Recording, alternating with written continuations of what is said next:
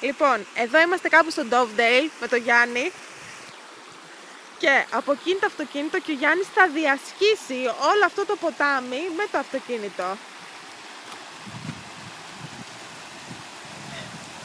Έτσι και φας γλίστρα καημένε μου.